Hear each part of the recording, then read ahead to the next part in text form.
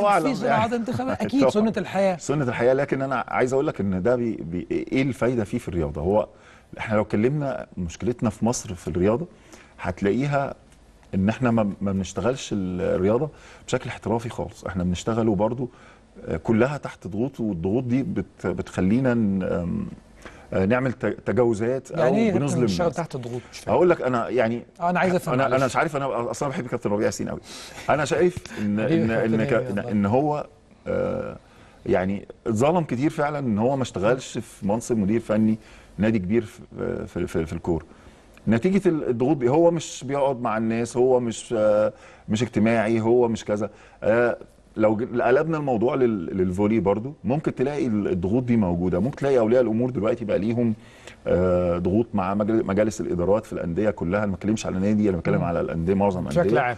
بيبتدوا يضغطوا في في, المدربين اللي يتحطوا إزاي. آه، لا المدرب ده لما بيلعبش ابني ما بيلعبش بنتي فبتلاقي في الآخر أنت بيبقى ال- ال- المنتج مش مش مش احترافي خالص. الموضوع ده إحنا آه، من أول لما ابتدينا قاومناه كان عندنا مشكلة إزاي إن إحنا نعمل فرق وده كان مش مش هو هدف وادي دجلة في الأول كان قايم على الأكاديميات اللي هتجيب آه، يعني فلوس وكده. آه كنت الحمد لله أنا كنت صاحب فكرة إن إحنا إن إحنا نبتدي نعمل فرق بتدفع فلوس آه اللي هم الصغيرين. آه وده أمر كل الأندية في مصر اكتشفت ان ده لازم يحصل لأن رياضة كرة الطايرة زي ما حضرتك عارف ما هياش رياضة شعبية. ما هياش رياضة بتجيب فلوس من المباريات ما بيش هو ممكن ده يحصل وفي تقصير في مصر عموما إن ده ما بيحصلش. آه لكن أنا جت فكرة إن أنا إن أولياء الأمور هم اللي يساهموا في البداية في تكوين الفرقة. ليه؟ إحنا نادي وادي دجلة خمس فروع ودلوقتي بقينا ثمان فروع وقريب هنبقى 11 فرع. آه، الفروع كتير جدا. لا يمكن أي نادي يقدر يصرف على كم ال- الفرق اللي موجودين. اولا بفضل الله إحنا دلوقتي إحنا عندنا في وادي دجلة 75 فريق كره طايره عندنا 1200 أو 1300 لعيب متسجلين في الاتحاد. يعني أقدر أقول لك إن عشر لعيبة الكره الطايرة في الناشئين هم وادي دجلة. القاعدة دي إحنا تعبنا قوي إن إحنا نعملها وكانت يعني ممكن يا كابتن هاني بدون مقاطعة كلام حضرتك هل ممكن دجلة ينافس على بطولة الدوري المصري الممتاز في كرة الطايرة أو حتى في قطاعات الناشئين أو حتى إن أنا أتكلم على الدرجة الأولى عشان ده بيكون عليه الاسبوت ممكن يا كابتن هو؟ هو إحنا الناشئين خلاص إحنا بقينا بالظبط. دلوقتي إحنا بقينا المنافس للأهلي آه، في كل ال- في كل. المنافس ولكن إمتى دجلة حضرتك أكيد حاطط خطة إن أنتوا تكونوا بقى الأبطال خدنا. إحنا إحنا إحنا إحنا بطل آه تحت 17 سنة بطولة القاهرة. كان. فيها الأهلي خدناها. إحنا تمام. بطل 14 سنه ما وجمهورية.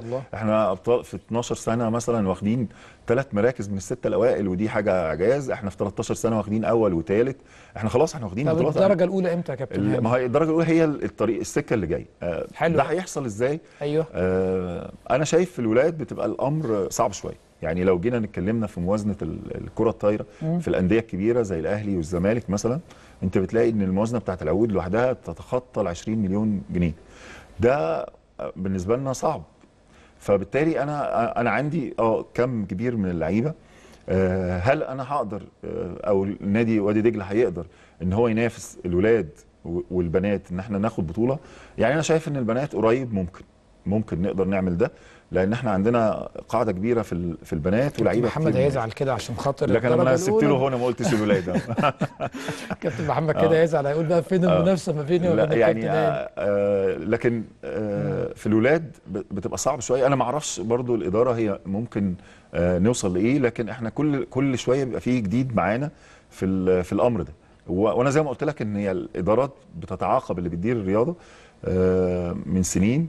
من أول دكتور علاء جبري لو كان يعني ده كان آه، نائب رئيس اللجنه الأولمبية. ده أول ما اشتغلت معاه في الرياضة وتعاقبت بقى ال- اللي كانوا مسؤولين عن الرياضة كابتن كريم درويش دكتور أحمد عبد الفتاح ودلوقتي المهندس سامح ناجي. آه، كلهم هم بيديروا الرياضة بأساليب مختلفة لكن تحت آه، system واحد محطوط من طبعا من كابتن ماجد سامي أو من الإدارة طب النادي. طب هل حضرتك ال system اللي محطوط في كرة الطايرة في مصر بشكل عام مش بتكلم على دجله آه. هل حضرتك عندك بعض التعليقات عليه سواء الإيجابية أو السلبية بصراحة طبعا يعني أنا يعني في في مشكلة إدارية جبارة بتقابلنا وبرضه بتقابلني في دجلة إن أنا ال- اللوائح كل شوية بتتغير آه،؟ الاتحادات الاتحادات كل شوية بتتغير. يعني يكفي أقول لك كفاية إن أنا أقول لك إن إحنا بقى لنا أكتر من خمس سنين مثلا إحنا في اتحادات مؤقتة.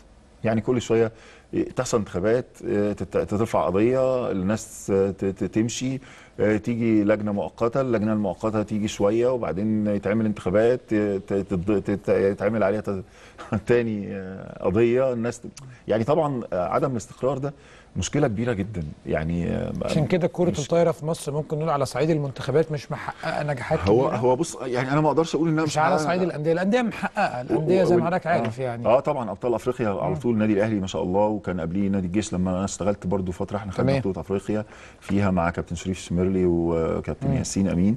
آه لكن آه المنتخبات أنت المنتخبات أنت عندك آه، جيل كان عظيم جدا اللي هو استلم مننا اللي هو الجيل بتاع أحمد صلاح وعبد الله. الجيل ده عمل خمس بطولات أفريقيا وراح كأس عالم آه، أربع خمس مرات وراح اولمبياد مرتين. جيل طبعا عظيم. لا عمل طبعا لأن بس كان جيل آه، زاخر بالمواهب وخد إعداد كويس قوي من كان وهو صغير. الجيل ده هو شايل مصر بقاله دلوقتي آه، أكتر من 12 سنة. تمام. آه، زي ما إحنا قعدنا برضو 12 سنة الجيل بتاعنا